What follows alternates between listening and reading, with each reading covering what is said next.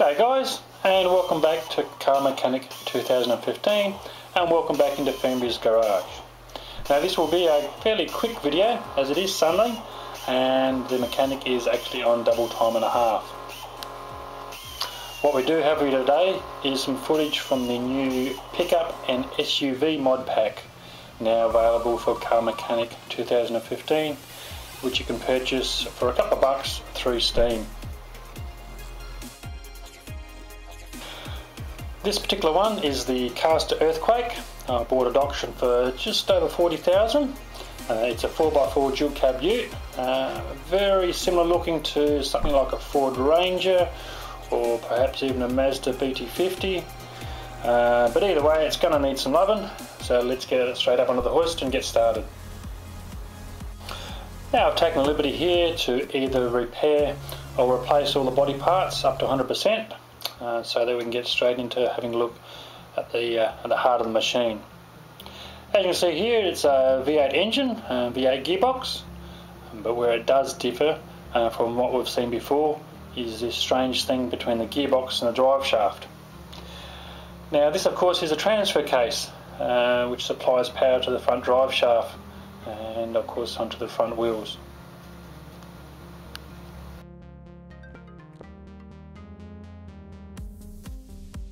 Now getting underneath the car, we're able to start removing some of those parts I mentioned.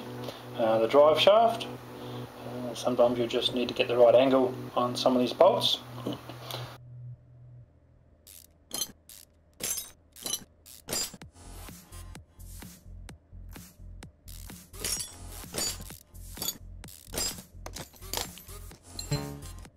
Uh, now I did learn quite quickly that the uh, the front the front drive shaft B needs to be removed before taking out that transfer case and once the transfer case is out uh, then you're able to take the gearbox out and those parts inside the gearbox are also going to need repair so they come out as well.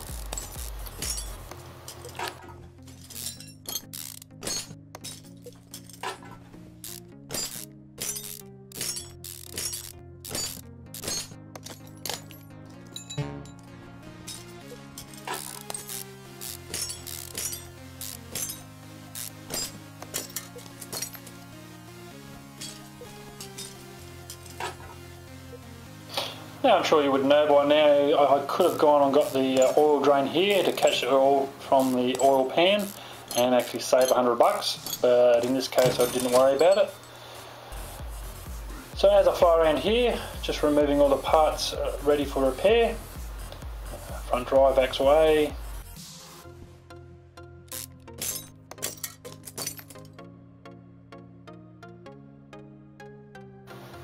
inner and outer tie rods uh, so that you're able to then remove the steering rack uh, to be removed and repaired.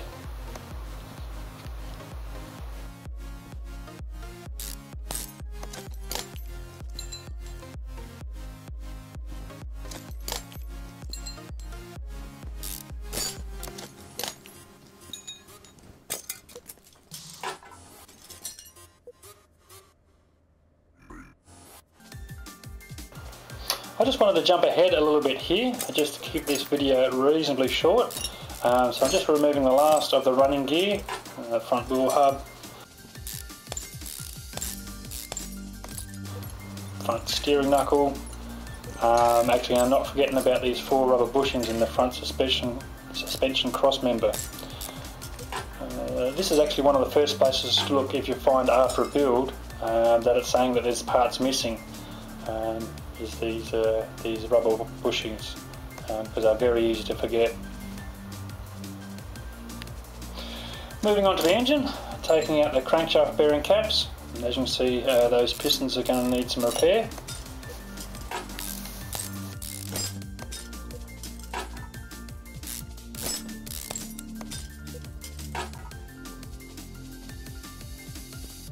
Uh, once again down with the lifter uh, to remove the top components of the engine block.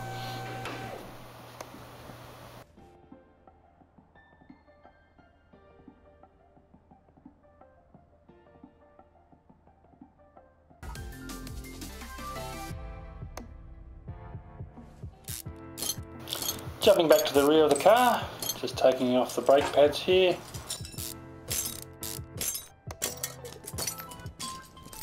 Uh, more rubber bushings. The rear drive axle, rear axle knuckle housing, and the last pieces of the suspension, uh, the leaf spring and the shocks. Now some of these parts will need repair uh, while others won't, but I find it's easier just to take them all out, take them all out at the same time, and then once they're taken out you're able to go through them and repair or replace.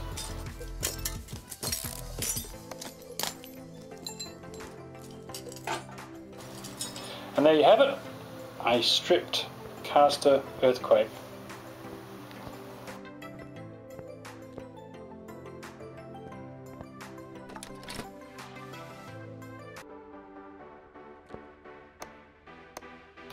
And we're back from repairing or replacing all those parts, most of which I was able to repair up to 100%. Uh, did lose a couple just through over repair, but that's okay. I just simply purchased those.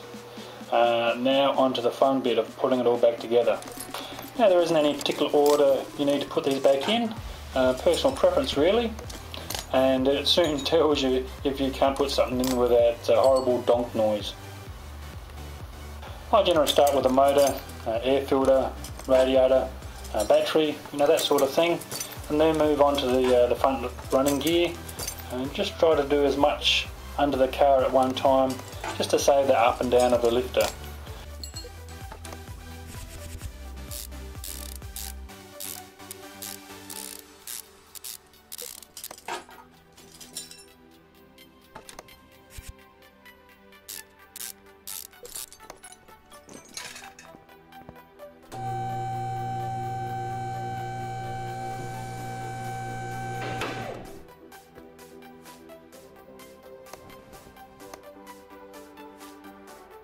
Crankshaft, crankshaft bearing caps uh, will go in, uh, looking all shiny and new.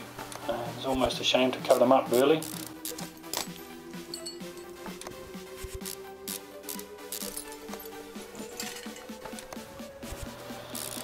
Uh, and then onto the front running gear.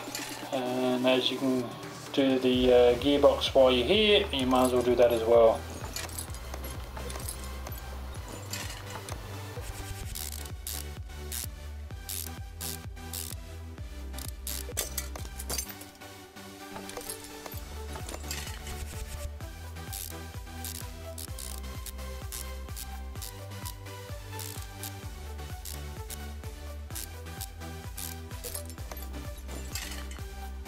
Followed by the starter motor.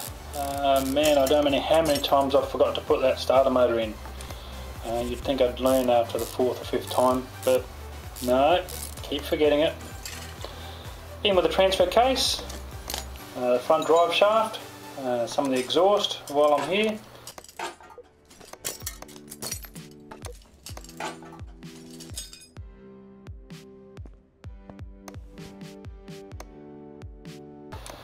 and the drive shaft itself, getting those bolts nice and tight.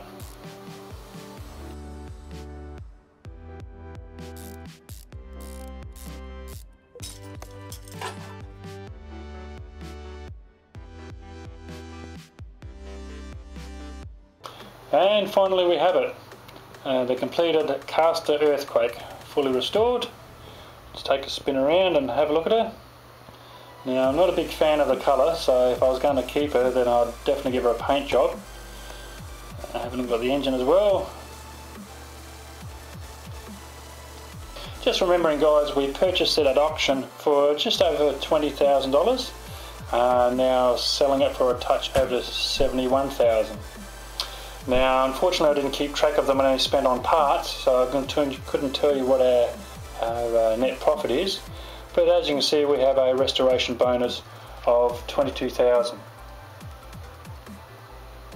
Well, I hope you enjoyed the restoration of the Caster Earthquake, and I'll catch you all next time.